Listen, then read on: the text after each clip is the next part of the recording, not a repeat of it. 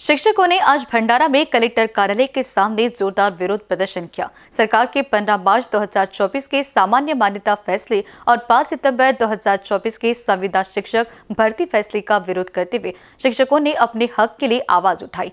आरोप लगाया गया है कि इन फैसलों से स्थानीय निकायों के प्राथमिक विद्यालयों का अस्तित्व खतरे में है। सरकार की उदासीनता के कारण शिक्षक संघों ने इस आंदोलन को और तेज करने की चेतावनी दी है।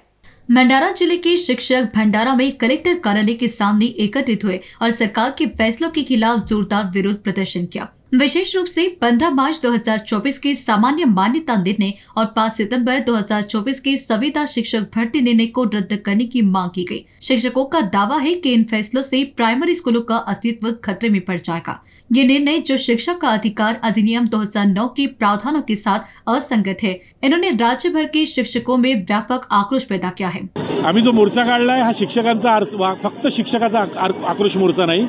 हा मोर्चा संपूर्ण समाजाचा तळागाळात असलेल्या संपूर्ण समाजाचा हा मोर्चा आहे. कारण ग्रामीण भागामध्ये जी शासनाची शिक्षण व्यवस्था आहे त्याचे आम्ही घटक आहोत. आम्ही शिक्षक आहोत. आणि विशेषतः आम्ही जिल्हा परिषदांच्या शाळांमध्ये खेड्यापाड्यात ग्रामीण भागात तळ्यावाड्या वस्तींवर शिकवतो.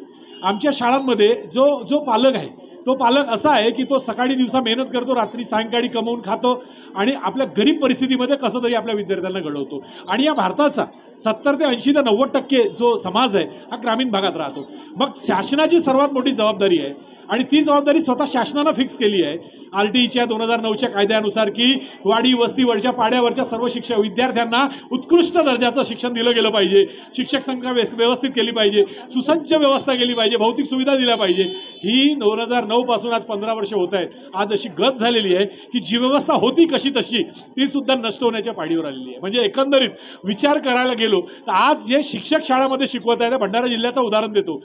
आठशे शिक्षक कमी आहेत. आता मला एक सांगा एक ते चारचे वर्ग आहेत सत्तर ऐंशी पोरं आहेत आणि फक्त एकच गुरुजी आहे तो खरंच शिकवाल का? तो शिकवत नाही आहे राखत आहे.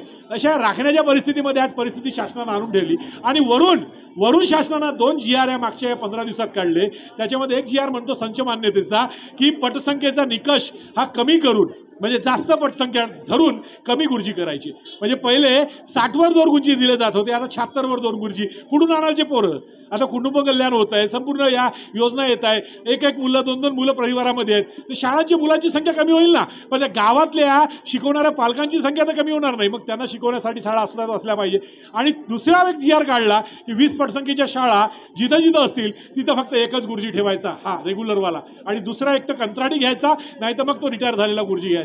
आता मला एक सांगा कंत्राटी गुरुजी तुम्ही घ्याल त्याला दोन चार पाच दहा हजार रुपये द्याल तर खरंच मनानं शिकवणार आहे का? आणि दुसरा रिटायर शिक्षकांना शिकवण्याची जी ही म्हणजे कल्पना या शासनानं काढली ही इतकी दुर्दैवाची आहे की तुम्ही जर रिटायर शिक्षकाला शिकवण्यासाठी वीस हजार देता मग बेरोजगार जे लोक पडले आहेत जे D Ed B Ed M S C B S C करून पडले आहेत त्यांना तुम्ही जर नोकरी दिली त्यांना लगेच दहा पंधरा हजारच दिले ते उत्कृष्ट शिक्षण देऊ शकतील. म्हणजे याच्यावरून सिद्ध होते की ग्रामीण भागातले पोरं शिकले नाही पाहिजेत त्यांना तंत्रज्ञानीयुक्त शिक्षक मिळालं नाही पाहिजे याचं धोरण स्वीकारून शासन अशा पद्धतीने. एनबीसी न्यूज के लिए भंडारा से सुरेंद्र चिंधालोरी की रिपोर्ट।